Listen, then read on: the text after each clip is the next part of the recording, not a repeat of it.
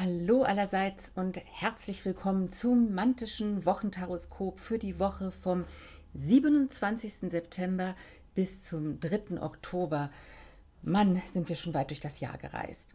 Es tut mir sehr leid, dass ich heute wieder nicht live diese Sendung machen kann. Es hat aber einen sehr schönen Anlass für mich, auf jeden Fall. Für mich ist der Anlass sehr schön. Seit zwei Jahren gehe ich zum ersten Mal wieder in die Hamburgische Staatsoper und sehe mir die Premiere des Ballettes Hamlet an. Alle, die mich ein bisschen besser kennen, wissen, wie sehr mir Ballett am Herzen liegt. Das ist ja auch eine totale Fischedisziplin und ich bin wirklich sehr glücklich, dass ich das heute machen darf. Deswegen seht es mir noch einmal nach. Ähm, es wird in den kommenden Wochen vielleicht auch immer mal wieder passieren, weil ich äh, jetzt auch hier in Hamburg in die Ferien gehe und ich bemühe mich aber trotzdem, euch mit diesen äh, Taroskopen auf dem Laufenden zu halten und äh, euch trotzdem Spaß zu bringen. Inzwischen weiß ich ja auch, dass ihr eine rege Community seid, die sich perfekt äh, alleine unterhalten kann. Ihr braucht mich eigentlich gar nicht mehr dafür. Ähm, von daher, ihr werdet sicher euren Spaß haben. Nach der sehr aufregenden letzten Woche, in der wir ja einen sehr dynamischen ja, inspirativen und äh, ja, sehr intuitiven Vollmond in den Fischen hatten.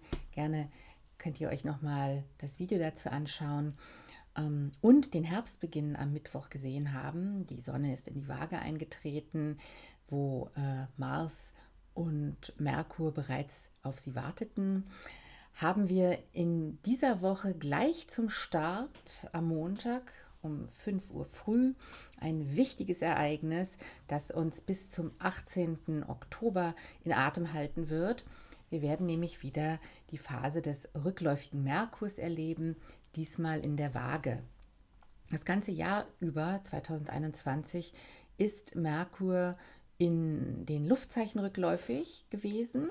Wir hatten Anfang des Jahres äh, seine Zeit im Wassermann, Mitte des Jahres in den Zwillingen und jetzt halt in der Waage. Auch im nächsten Jahr wird es sich wieder in den Luftzeichen, aber auch ähm, in den Erdzeichen bewegen.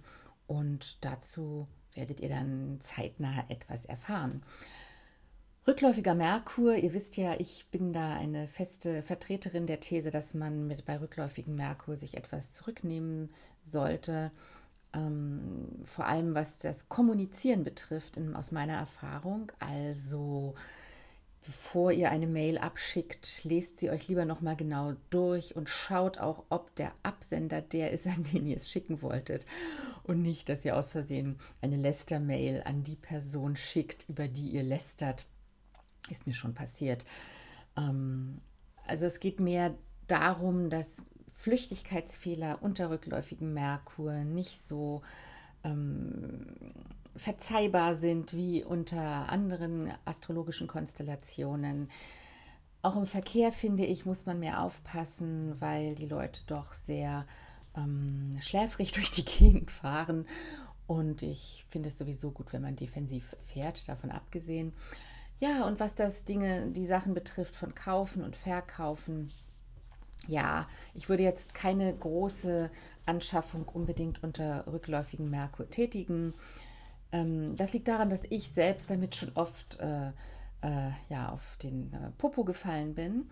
Aber ganz ehrlich, wenn ihr den Merkur nicht spürt, dann ist das auch total okay, dass ihr da anders handelt. Ihr müsst da kein schlechtes Gewissen haben.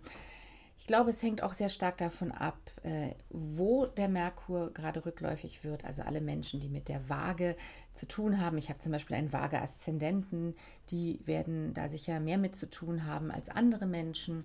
Und es kommt auch auf deine eigene Merkurstellung in deinem Horoskop an. Ich habe einen sehr prägnanten Merkur, der ist sehr wichtig in meinem Horoskop. Für andere Menschen ist das eine Lappalie, der Merkur. Er ist nicht der wichtigste Planet.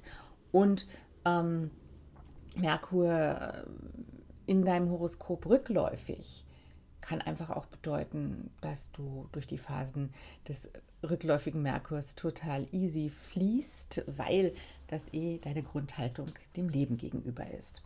Ansonsten ist in der kommenden Woche astrologisch äh, kein dramatischer Höhepunkt zu erwarten. Der dramatische Höhepunkt äh, für Deutschland war ja auch der Sonntag, also der Tag, an dem du jetzt hier dieses Video siehst, gerade wenn ich es ausstrahle um 19 Uhr, werden ja schon einige Hochrechnungen feststehen, aber das Ergebnis wird noch nicht ganz perfekt sein. Vielleicht lässt du es nebenher laufen, aber jetzt konzentriere dich doch mit mir erst einmal noch auf deine Karte für die kommende Woche. Bevor wir das machen, zeige ich dir natürlich auch den Spirit Guide für die kommende Woche. Ich habe diesmal wieder äh, einen Spirit Guide aus dem Relative Tarot gezogen von Carrie Paris. Äh, mit der, Deck, dem Deck von Carrie Paris habe ich ja angefangen, das Wochentaroskop zu machen vor nun fast anderthalb Jahren. Und ja, das hat sich ganz schön entwickelt, finde ich. Ich habe es tatsächlich geschafft, jede Woche ein Wochentaroskop zu machen seither. Da bin ich mächtig stolz auf mich. Der Spirit Guide für die kommende Woche von Carrie Paris heißt Elegance, Elegance, Eleganz. Und ja, ich finde, das passt hervorragend zu dem Waage-Thema.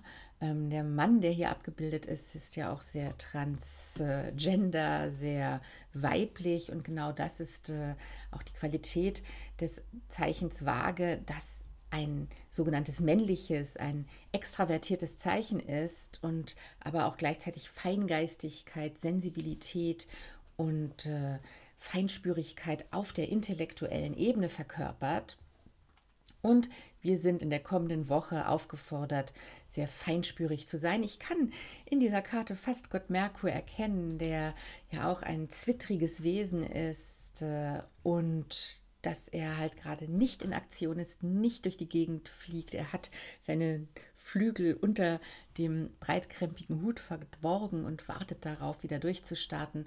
Beim Augenblick wartet er ab, plant, räumt auf, auch eine sehr gute Beschäftigung unter rückläufigen Merkur und bereitet sich so langsam auf das Durchstarten für das kommende Jahr vor. Daran solltet ihr euch halten und macht das alles mit Stil und Eleganz und in Schönheit. Das ist der Spirit Guide für die kommende Woche. Und nun reisen wir zusammen durch den Tierkreis. Ich dachte, da der Merkur in der Rückläufigkeit uns immer auch auffordert, ein bisschen zu meditieren, in uns zu gehen, sich mit uns selbst auseinanderzusetzen, anstatt da draußen rumzutwittern und zu Facebooken und sonst was, sondern eher bei uns zu bleiben, nehme ich doch mal wieder das wunderschöne Spirit Within Tarot von Stephen Bright der einfach ein wahnsinnig kreativer Künstler und ein toller Social äh, Media Mensch ist. Ich bewundere sehr, was er da alles immer auf die Beine stellt und mit welcher Ästhetik und Eleganz er das tut. Ja, und mit diesen wunderschönen Karten, ich habe mir eigentlich fest vorgenommen, das Wort wunderschön nicht mehr zu benutzen. Also mit diesen sehr tiefgreifenden Karten reisen wir nun durch den Tierkreis und fangen natürlich wie üblich mit dem ungeduldigen Widder an.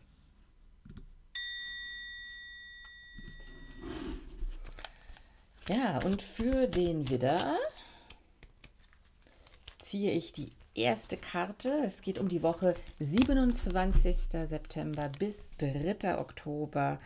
Und da habe ich schon eine sehr dynamische Widderkarte gezogen, nämlich die 7 der Schwerter. Die Sieben der Schwerter äh, wird hier dargestellt, mal nicht, dass hier ein Mensch andere über einen See fährt, sondern ich sehe hier fast so einen Windsurfer-Typen. Na gut, der hat ein paar Schwerter dabei, aber er macht sich auf zu neuen Ufern, zu neuen Horizonten und die Karte ist Merkur zugeordnet, Merkur in Wassermann. Es ist eine Karte des Brainstormings und des äh, ja, geistigen Innehaltens zwischen zwei Stationen. Der ähm, Mensch hier ist abgestoßen von einem Ufer und will zu einem neuen Ufer aufbrechen oder ist im Begriff darin äh, dabei, dahin aufzubrechen. Und das genau ist das, was du, lieber Widder, in der kommenden Woche tun sollst. Überlege dir, was du im letzten Jahr alles so schon erreicht hast, auf welche Wege du dich begeben hast und jetzt überlege dir, was hat dir das eingebracht? Welche Dinge sind unstrukturiert, denn die Schwerter, die liegen da ja so ein bisschen kreuz und quer in dem Boot. Und ähm, was kannst du jetzt als nächsten Schritt tun? Was ist dein nächster Meilenstein, um noch möglichst bis zum Jahresende an dein Ufer ähm, zu gelangen, was du dir eigentlich als Jahresziel vorgenommen hast? Die Sechs der Schwerter passt hervorragend dazu, jetzt wirklich mit dem rückläufigen Merkur einherzugehen. Mars, dein Herrscherplanet, ist ja weiterhin mit äh, dem Merkur gerade verbunden. Er ist auch in der Waage. Und von daher ist das Abwägen, das äh, sich disziplinieren, nicht voreilig handeln, sondern gerade für dich gilt das Stichwort der Eleganz, elegant, überlegt, durchdacht handeln das ist gerade genau das Wichtige für dich. Hinter dieser Karte steht auch immer dein Team. Es ist dem Wassermann zugeordnet, äh, diese Karte. Also mit wem willst du Projekte machen? Wen möchtest du jetzt in dein Boot holen sozusagen? Das muss nicht sofort auf der Stelle gleich sein, aber bereite das vor und denke auch über langfristige Projekte nach. Das ist das Wichtige, was du für die kommende Woche wissen musst. Das ist meine Botschaft für dich, lieber Widder.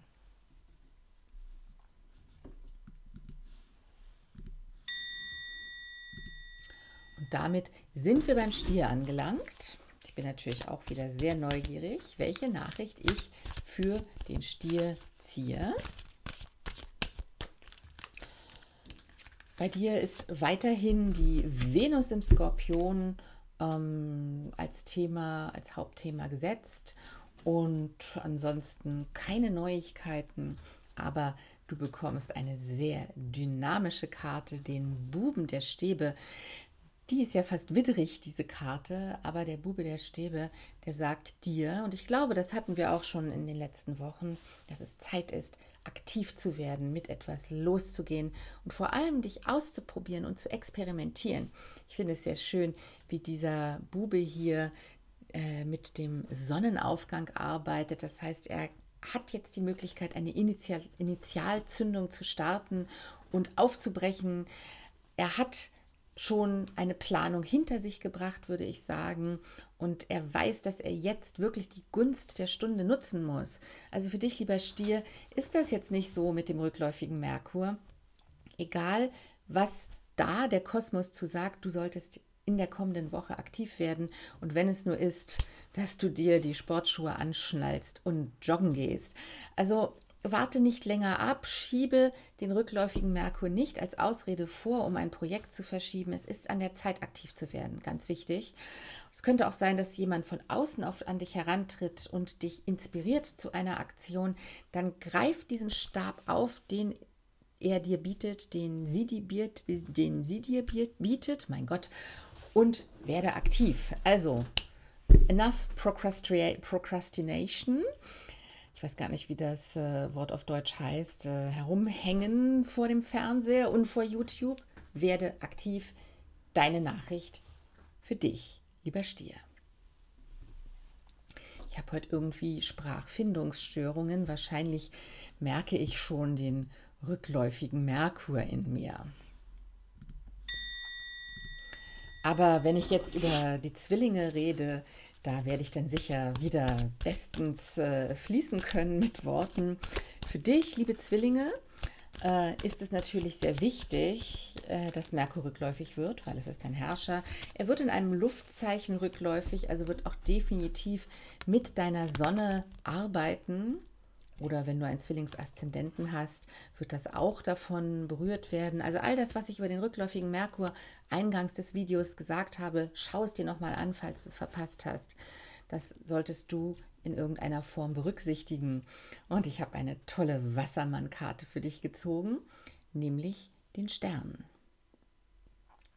Der Stern verspricht dir, dass wenn du beherzigst, was ich für den rückläufigen Merkur äh, dir vorgeschlagen habe, nämlich bei dir zu bleiben, dich vielleicht auch zurückzuziehen, viel zu meditieren, dass du mit äh, spannenden, neuen Dingen überrascht werden kannst, dass du ähm, eine Inspiration von außen erhältst, die dir zeigt, das ist mein Weg, den möchte ich gehen und zwar langfristig.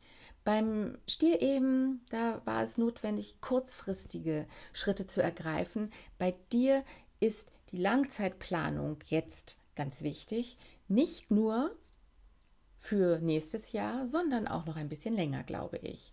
Das mag daran liegen, dass äh, durch die Zwillinge gerade der aufsteigende Mondknoten läuft, der immer auch mit Beruf und Berufung zu tun hat.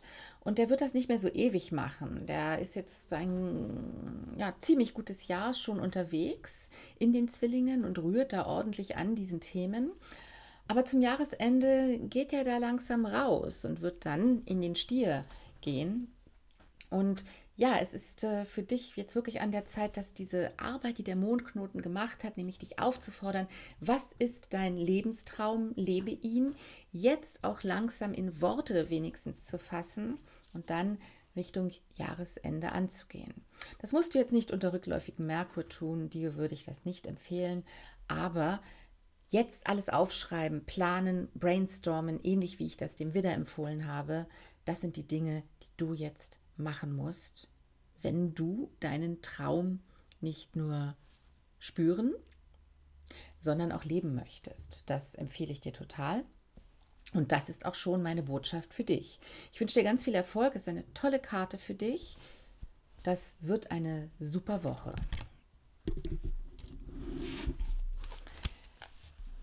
Und damit sind wir jetzt beim Krebs angelangt. Ja, lieber Krebs, auch für dich keine große Veränderung. Der Mond reist weiter fleißig durch die Sternenwelt. Alle zweieinhalb Tage wechselt er das Zeichen, so wie du deine Stimmungen und Launen wechseln kannst. Und nach dem sehr intensiven Fische Vollmond, der ja auch wie ich das beschrieben habe in dem Video, eine Zäsur für den Sommer gebracht hat, bist du gerade sehr stark mit Loslassprozessen beschäftigst. Der Tod sagt, dass irgendetwas in deinem Leben vorbei ist. Eine Partnerschaft kann das natürlich sein, auch eine Phase in deinem Beruf. Vielleicht ziehen deine Kinder gerade aus dem Haus oder du selbst stellst fest, dass in dir etwas gestorben ist, was du eigentlich nicht mehr haben willst. Der rückläufige Merkur ist eine fantastische Gelegenheit, genau äh, sich dazu zu bekennen, dass etwas vorbei ist in deinem Leben und natürlich auch ein wenig darüber zu trauern, dass es vorbei ist, aber dann sich auch darauf vorzubereiten, dass es aufgeht zu neuen Ufern. Ich habe vor gar nicht allzu langer Zeit für den Tarotgarten der Geheimnisakademie ein Video zum Tod gemacht mit Christopher Weidner, das auch hier in einer Playlist zu sehen ist auf diesem Kanal. Vielleicht schaust du dir dieses Video nochmal an. Es ist ähm, ein sehr schönes Video, wie ich finde. Und wichtig ist beim Tod immer, du musst jetzt nicht kämpfen dass da irgendetwas aufrechterhalten werden muss. Weil wenn du nicht hineinschaust, dann weißt du, dass es schon vorbei ist. Und das kann auch was sehr Unangenehmes sein, was vorbei ist.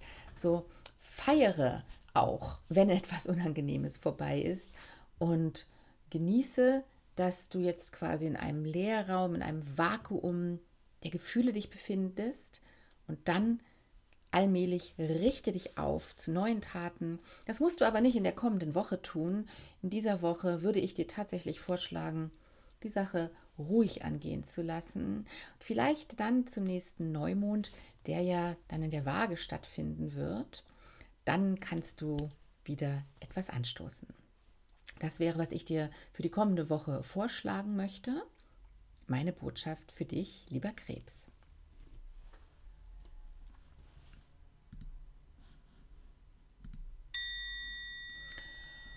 Und schon sind wir beim Löwen angelangt. Ja, und was kann ich über den Löwen sagen?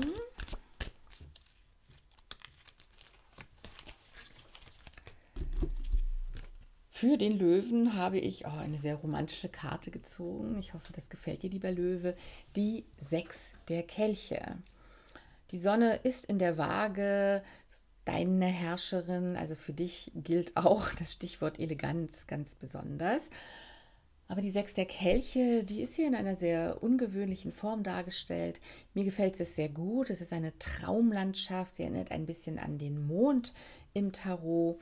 Und wir sehen diese beiden Kinder, die da ähm, an einem See entlanglaufen. Und tatsächlich sagt die Sechs der Kelche immer, erinnere dich an deine Kindheit.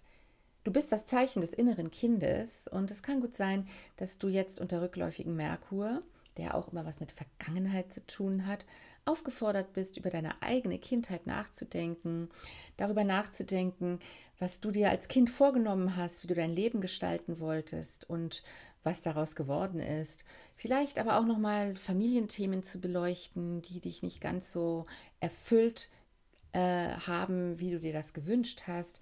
Die Karte kann sich auch, ähm, kann dich auch dazu anregen, über deine eigenen Kinder nachzudenken oder über einen Kinderwunsch, wenn du einen solchen hast. Aber das Allerwichtigste ist, dich nochmal, ähm, dir nochmal klar zu machen, wie war meine Kindheit, welche Prägungen habe ich in meiner Kindheit erfahren und wie bringe ich mein inneres Kind zum Spielen. Wie erfahre ich mehr Lebensfreude und Leichtigkeit im Leben? Denn das ist deine Lebensaufgabe als Löwe. Leichtigkeit, Lebensfreude und Genuss zu erfahren. Seltsamerweise kenne ich viele Löwen, die das gar nicht so schaffen. Aber wenn ihr in euer Herz hineinkommt und wenn ihr dem Kind, das in euch sitzt, erlaubt zu spielen, dann ist das kein Problem. Ich habe das äh, innere Kind früher immer das innere Gör genannt, weil es partout mir immer auf den Keks ging. Aber als ich dann irgendwann mal auch akzeptiert habe, dass so ein inneres Gör tatsächlich auch Bedürfnisse hat, die man ernst nehmen sollte oder die ich ernst nehmen sollte, ist es mir nach und nach gelungen, auch ein bisschen verspielter zu werden. Ich bin kein Löwe, ich habe damit definitiv ein Thema. Und ja, mehr kann ich dazu jetzt nicht als Tipp sagen. Ich hoffe, du verstehst, was ich meine und gehst ein bisschen in die Vergangenheit, schaust dir vielleicht alte Fotos an und äh, genießt, dass da aus der Vergangenheit Stimmen zu dir sprechen, die dir helfen möchten, deine Zukunft zu gestalten. Das, mein lieber Löwe, ist meine Nachricht für dich. Ich wünsche dir viel Erfolg in der kommenden Woche.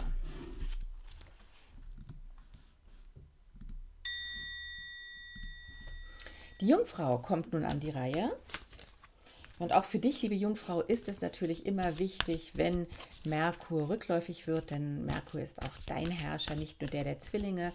Aber dadurch, dass er jetzt durch ein Luftzeichen reist, ist es für die Zwillinge wichtiger als für dich. Du musst das jetzt gar nicht so unbedingt mitbekommen, aber gerade für dich ist der rückläufige Merkur immer eine fantastische Zeit, um über die Bücher zu gehen, die Steuererklärung zu machen, Excel-Sheets zu bereinigen den Computer auszumisten. All diese Dinge sind für dich sicher eine gute Gelegenheit, ähm, ja in der kommenden Woche etwas zu tun. Und ich habe für dich aber eine feurige Karte äh, gezogen, nämlich den König der Stäbe, der dich dazu auffordert, nicht unbedingt in eine Aktion zu gehen, denn der König, der sitzt tapfer, stolz auf seinem Stuhl mit seinem Stock und wartet darauf, dass von irgendetwas außen ihn antriggert, um in Aktion zu gehen. Der König der Stäbe hat es nicht nötig, sich zu beweisen in irgendeiner Form. Er weiß genau, was er kann, er weiß genau, was er will. Er ist des Herr, der Herr seines eigenen Feuers. Und du bist jetzt nicht berühmt für Feurigkeit, liebe Jungfrau, aber Du bist dafür berühmt, durchhalten zu können, wenn andere aufgeben müssen. Und das ist auch eine Qualität, die der König der Stäbe hat. Jetzt ist die Zeit, noch einmal äh, alles zu sammeln, was du brauchst, um in den Winter zu gehen, dich gut vorzubereiten auf das, was noch kommen kann in den kommenden Herbst- und Winterwochen. Ich bin schon sehr gespannt, was uns da erwartet. Äh, du hast sicher schon Vorkehrungen getroffen, wie ich dich kenne, aber der König der Stäbe sagt noch, mach es noch mehr. Die Karte ist ausgezeichnet, außerdem, um dich für einen neuen Job zu bewerben. Eingedenk dessen, dass rückläufiger Merkur ist, musst du selbst entscheiden, ob du diese Bewerbung vor äh, dem Ende des rückläufigen Merkurs loscheckst oder lieber abwartest. Check dafür dein eigenes Horoskop. Ähm, es ist eine Karte der Selbstbehauptung und des Stolzes. Also stell dein Licht nicht unter den Scheffel, wie du das gerne als Jungfrau tust. Du bist ja immer recht bescheiden, sondern mach dich mal von der Person im Hintergrund zu der Person, die tatsächlich die Arbeit leistet. Zeige das den anderen Menschen in deinem Umfeld und dann tust du genau das, was der König der Stäbe von dir möchte. Deswegen ganz wichtig, Haltung, Stolz und den Menschen zeigen, wer du bist. Das ist was du in der kommenden Woche tun solltest, meine Nachricht für dich, liebe Jungfrau. Und jetzt extra für Florian nehme ich meinen Schluck Wasser. Cheers. Aus einer geheimnisvollen, transparenten Flasche Sieht so ein bisschen aus wie in so einem Alien-Film, oder?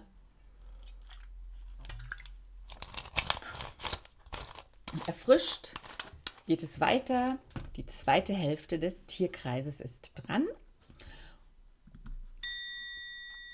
Und natürlich geht es jetzt um unser Geburtstagskind, äh, die Waage, die jetzt die nächsten Wochen Geburtstag feiert. Und Mann, liebe Waage, bei dir ist echt einiges los. Sonne in deinem Zeichen, Mars in deinem Zeichen, also eine sehr dynamische Konstellation, die dir eigentlich hilft, durchzustarten und aktiv zu werden und gleichzeitig der rückläufige Merkur, der diese Aktivität wieder ausbremst und dich dazu auffordert, wirklich nur ganz überlegt zu handeln, aber dennoch zu handeln. Also ich würde sagen, bei dir ist durchaus auch Aktivität trotz dieses merkurischen Stillstandes angesagt. Und ähm, ich bin nicht unbedingt, äh, die Karten sind nicht unbedingt mit mir einer Meinung. Ähm, ich habe für dich den Eremiten gezogen. Aber ich finde, dass dieser Eremit ähm, sehr haltungsvoll, sehr elegant, also eigentlich passt er fast so ein bisschen, finde ich, zu der Karte, die ich hier gezogen habe, äh, daherkommt. Der Eremit sitzt auf einem Berg, er meditiert, ich würde sagen, es ist ein Sonnenuntergang, den er da wahrnimmt. Und der Eremit ist ja auch der Jungfrau, also auch dem Merkur zugeordnet. Was sagt mir das jetzt für dich? Manchmal sind wir aktiv, wenn wir nicht handeln, wenn wir uns zwingen, nicht zu handeln, sondern etwas auszuhalten, bis von außen ein Impuls kommt, dass wir handeln können. Es ist ein bisschen, wie ich gerade das bei der Jungfrau beschrieben habe, aber in deinem Falle geht es auf eine tiefere Ebene, denn der Eremit stellt auch immer die ganz großen Fragen des Lebens. Wo komme ich her? Warum bin ich hier? Was soll ich hier? Was ist meine Lebensaufgabe? Auch dazu haben Christopher und ich ein Video gemacht, das du dir gerne im Tarotgarten Playliste hier auf diesem Kanal ansehen kannst. Der Eremit fordert dich dazu auf, Entscheidungen aus dir heraus zu treffen, nicht das Umfeld dafür zu befragen, sondern zu erspüren, was jetzt die richtige Haltung ist. Und daher ist für dich Rückzug angesagt. Aber vielleicht hast du ja in diesem Rückzug das Verlangen, einen Roman zu schreiben, mit einem Buch äh, nach vorne zu kommen oder eine andere Aktivität zu machen, die ja, die ähm, introvertiert, aber gleichzeitig sehr produktiv ist. Lass einmal jetzt äh, all das weg, was mit äh, Partnerschaften, mit äh, Dilemmata, der äh, soll ich dahin gehen oder dorthin gehen zu tun hat. Geh auf dich zurück, bleib bei dir und spüre mal wirklich ganz tief in dich hinein, was du eigentlich wirklich brauchst, um glücklich und zufrieden durch dein Leben zu gehen. Und erst wenn du da eine Antwort hast, und das kann etwas dauern, vielleicht sogar die ganze Phase des rückläufigen Merkurs, dann wirst du aktiv. Das halte ich jetzt für besonders wichtig und ich denke, du kommst mit dem Eremiten ganz gut klar. Je stärker du erkennst, was du brauchst, umso mehr ziehst du auch die Menschen an, die du jetzt brauchst, damit du es leben kannst. Ob das in der Beziehung ist oder im Job und danach solltest du jetzt leben. Das mein eine liebe Waage ist meine Nachricht für dich.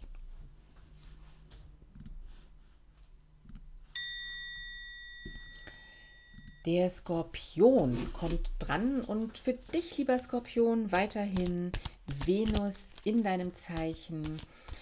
Liebevoller Umgang mit dir selbst ist ein wichtiges Thema, aber vielleicht lernst du auch gerade jemanden kennen, ähm, die oder der dich äh, verführt, äh, wieder mehr über die Liebe nachzudenken. Aber halte den Fokus unbedingt auf die Selbstliebe und ich habe eine sehr schöne Karte für dich gezogen, die drei der Münzen, cool dargestellt hier, jemand, der renoviert. Gefällt mir sehr gut die Karte. Und die drei der Münzen ist immer ein Hinweis darauf, wenn wir jetzt in Sachen Selbstliebe Liebe weiterdenken, äh, dass du dich damit beschäftigen solltest, dass Körper, Geist und Seele in dir an einem Strang ziehen. Das ist immer viel verlangt, aber ähnlich wie die Waage dazu aufgefordert ist, über sich selbst und ihre Lebensaufgabe nachzudenken, solltest du über deine Talente nachdenken. Was genau kannst du eigentlich wirklich gut? Was willst du? Und wie kannst du die beiden Dinge zusammenbringen und dabei auch noch den Aspekt hineinbringen, dass es sich auch in irgendeiner Form für dich lohnen soll. Auf der anderen Ebene sagt die drei der Münzen immer, dass es eine gute Zeit ist, um mit anderen Menschen in Kontakt zu kommen. Du hast die Venus jetzt in deinem Zeichen, die auch dafür spricht, dass es gut wäre, dich unter Menschen zu begeben und dir vielleicht ein Team zusammenzusuchen, mit dem du das ähm, leben kannst, was dir gerade wichtig ist. Und äh, auch auf längere Frist dafür zu sorgen, dass es dir seelisch und körperlich und finanziell gut geht. Hier wird ja gerade etwas aufgebaut und das heißt, du bist gerade dabei, etwas in deinem Leben neu zu gestalten. Sorge dafür, dass es wirklich etwas ist, wo du auch in vielen Jahren noch hinterstehen kannst und nicht ein Provisorium. Das ist wirklich auch noch ziemlich wichtig für dich. Und ich glaube, mehr musst du im Augenblick nicht wissen. Genieße es, dass Venus in deinem Zeichen ist und äh, du bist ja das Geburtstagskind der Wochen, die nach der Waage sind. Bis dahin äh, hast du Zeit, dir genau über das, was ich gerade gesagt habe, Gedanken zu machen, damit du dann, wenn Merkur wieder direktläufig ist und die Sonne in deinem Zeichen Ende Oktober, damit du dann durchstarten kannst mit diesen Projekten. Das, mein lieber Skorpion, ist meine Nachricht für dich.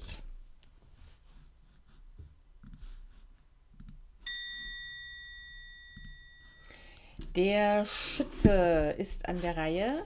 Und ich finde es immer ganz tapfer, wenn ihr Schützen bis hierher durchgehalten habt. Denn als Feuerzeichen fällt das euch natürlich besonders schwer. Und ich habe eine sehr schöne Karte für dich gezogen, lieber Schütze. Eine dynamische Feuerkarte, die Acht der Stäbe, die Merkur im Schützen zugeordnet ist. Du siehst, ich kenne alle Merkur-Karten in dem Deck, denn Merkur ist einfach mein Lieblingsplanet.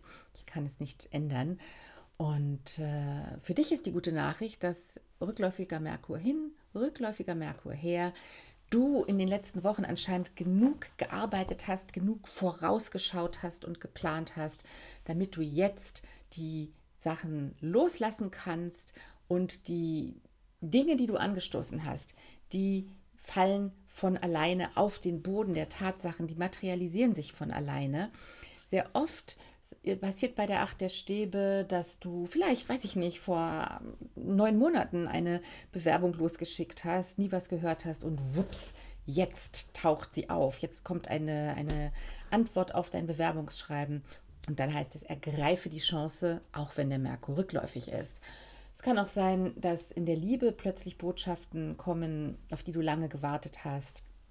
Oder äh, irgendetwas anderes, was, äh, ja, was du schon dachtest, da passiert jetzt nichts mehr, das wird jetzt losgetreten.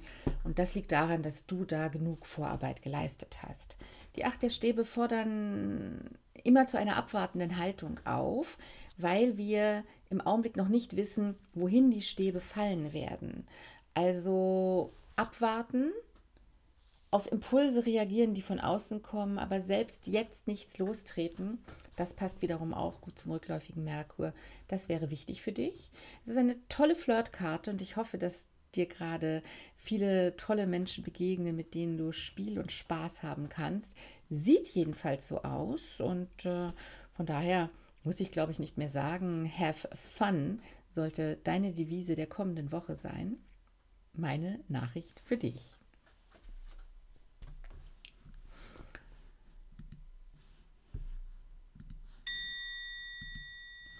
Ja, der Steinbock, der hat ja in den letzten Wochen immer ziemlich gute Karten gehabt. Das kann ich noch gut erinnern. Und jetzt ist Pluto ja demnächst auch wieder direktläufig. Das heißt, Themen, die liegen geblieben sind für den Steinbock, die werden jetzt immer stärker angezogen.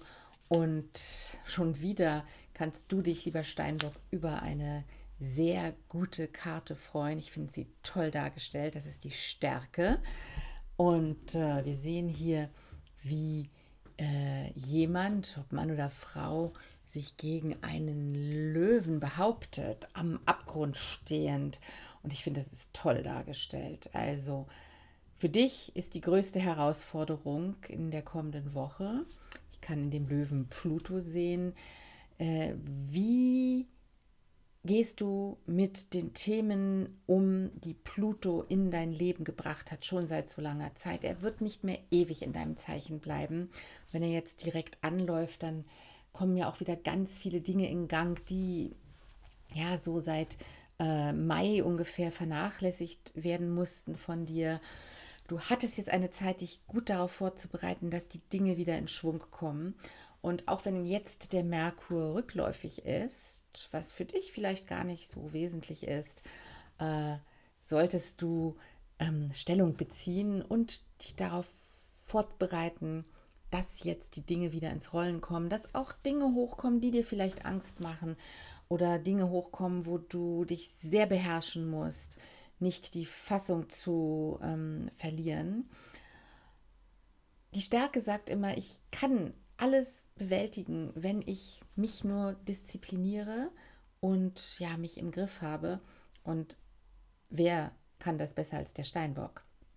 Also, erinnere dich daran, dass du eines der stärksten Zeichen des Tierkreiszeichen bist, wenn es darum geht, etwas durchzuhalten und nicht vom Weg abzukommen, den du dir einmal vorgenommen hast. Manche Menschen würden sagen, du bist ganz schön störrisch, aber jetzt hier gegenüber dem Löwen ist das eine gute Haltung. Ich finde, es geht auch darum, den Löwen zu umarmen und nicht gegen ihn zu kämpfen. Bin mir sicher, du weißt genau, worum es geht. Das, mein lieber Steinbock, ist meine Nachricht für dich.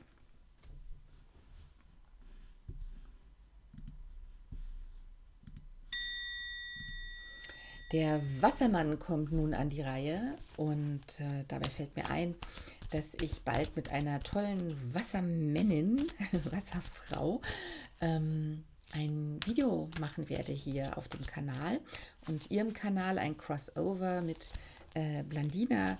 Blandina ist eine Hamburger ähm, ja, Geistes, äh, Geistheilerin, würde ich sagen. Sie arbeitet viel mit Matrix-Energie und wir beide werden am kommenden Sonntag darüber reden, ähm, wie wir eigentlich zu unserer Berufung gefunden haben, wie das so war und äh, wie ihr vielleicht auch zu eurer Berufung finden könnt.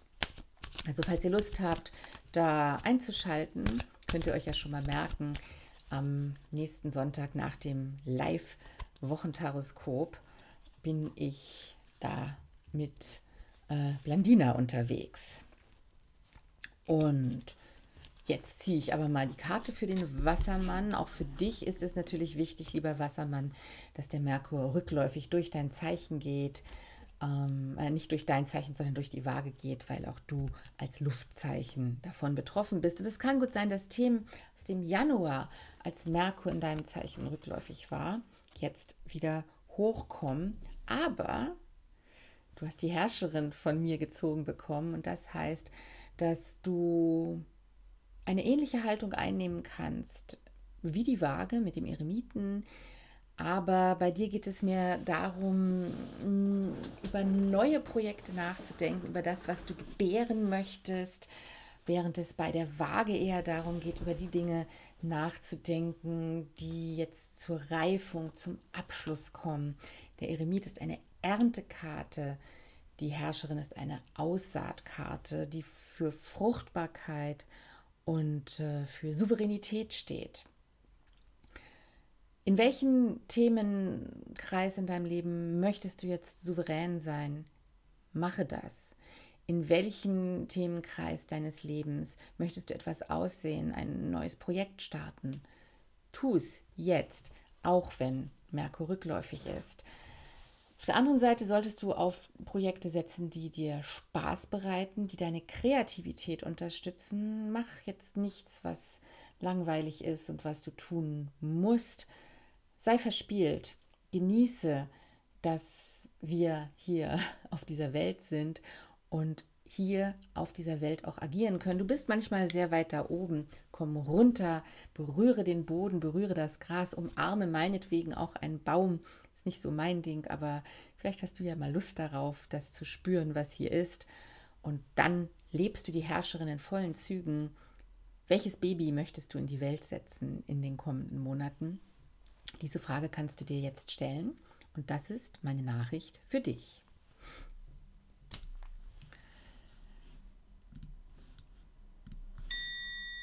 Und als letztes für heute ziehe ich natürlich jetzt noch eine Karte für uns Fische. Ich muss gerade wieder an die erschreckten Fische vom letzten Mal denken. Ich weiß nicht mehr, wer das geschrieben hat, aber es war sehr lustig. Ich bin sehr gespannt, ob wir jetzt den Turm überwinden. Und ähm, ja, für uns Fische ist nach dem Vollmond ähm, erstmal ein bisschen Ruhe angesagt. Entschuldigt bitte. Und ja, wir haben es uns echt verdient nach all der Aufregung. Ich habe für uns eine perfekte Fischekarte, nämlich den König der Kelche gezogen. Eine Karte, die davon spricht, dass jetzt Ruhe in unser Leben einkehren darf. Lustig, die Jungfrau, unser Gegenzeichen, hat auch einen König, den König der Stäbe bekommen von mir. Und dass wir ähm, ja, uns treiben lassen dürfen, einen Wodka mehr trinken dürfen als sonst. Spaß. Und äh, einfach, wenn wir uns, ich rede jetzt mal von mir, wenn wir uns in den letzten Wochen im Sommer sehr angestrengt haben, die Beine etwas baumeln lassen dürfen. Wir tendieren ja dazu, sowieso ähm, ein bisschen faul zu sein und uns zu viel treiben zu lassen. Aber diese Karte sagt, ja, das ist jetzt ganz wichtig. Es ist auch wichtig, im Augenblick nicht die Probleme mit dem Verstand lösen zu wollen, sondern tief ins Herz zu schauen und aus dem Herzen heraus zu agieren. Tatsächlich können wir das am besten, aber wir vergessen das natürlich auch im Alltag des Lebens. Wir sind das Tierkreiszeichen der Seele und im kommenden, ähm, in der kommenden Woche sollen wir unsere Seele sprechen lassen. Der König der Kelche wird auch gerne als Herzensmann betrachtet. Also vielleicht begegnet ihr auch jemanden, der euch berührt. Es muss nicht unbedingt äh, romantisches Berühren sein, es kann einfach auch ein seelisches Berühren sein. Ähm, oder ihr berührt gerade jemanden. Vielleicht ist es äh, ein wenig an der Zeit, die Nachrichten, die euch auf dem Herzen liegen, für die Welt nach draußen zu lassen. Wer meinen Mondimpuls gesehen hat, der weiß, dass mir das zum Beispiel bei dem Mondimpuls passiert ist. Da bin ich sehr König der Kelchig geworden. Und äh, das ist nicht immer gut, weil es nicht so gut ist, seine Seele so sehr zu zeigen. Aber ab und zu dürfen wir Fische das. Und in der kommenden Woche hast du, lieber Fisch, liebe Fischin, eine sehr gute Gelegenheit dazu. Das, meine liebe Fische, ist meine Nachricht für euch. Und ja, da euch das letzte Woche gut gefallen hat, werde ich jetzt noch einmal die Quintessenz der Legung zusammenrechnen, um den Querschnitt für die kommende Woche für uns zu finden. Dann zähle ich das jetzt einfach mal. Ein König zählt 0, die Herrscherin 3, die Stärke in diesem Deck ist eine 8, dann haben wir eine, ähm, äh, eine 12, äh, Verzeihung, eine 11 und eine 8 sind 19 und eine 3 sind 22 und 9 für den Eremiten sind 31, zählt nichts und 6 sind 37 und 13 für den Tod sind 50 und der Stern macht 67, nichts für den Buben und 6 für die ähm, 6 der Schwerter. Da bin ich bei 73 angelangt und die Quersumme der 73. Na, wer weiß es, wer weiß es, jetzt in die Kommentare schreiben, bevor ich die Karte gefunden habe. Äh, ich muss mal hier kurz wühlen. Ja, ihr habt jetzt die Gelegenheit, euch selbst zu profilieren und mir ein Stichwort für die Karte und äh, für die Bedeutung der Karte aufzuschreiben. Noch habt ihr Zeit, während ich hier suche und suche und finde. Ich habe nämlich errechnet das Rad des Schicksals. Coole Karte hier auch, weil man hier so schön sieht, dass man äh, das Rad hinaufklettern muss, sitzen bleiben kann und dann wieder herunterfällt an einer Stelle. Genau das ist die Bedeutung des Rates Schicksals. Das Rad dreht sich ständig. Wir sind Veränderung äh, ausgesetzt. Und hey, jetzt, während ich dieses Video ausstrahle, erfahren wir gerade, wohin sich Deutschland verändert. Ich bin sehr gespannt. Und äh, lebt Veränderung, habt den Mut, andere Wege zu gehen als bisher. Nutzt die Zeit des rückläufigen Merkurs, um diese Veränderung vorzubereiten. Und dann starten wir alle in ein Jahr 2022, in dem wir nicht mehr so hilflos sind, wie wir das stark in den letzten beiden Jahren waren.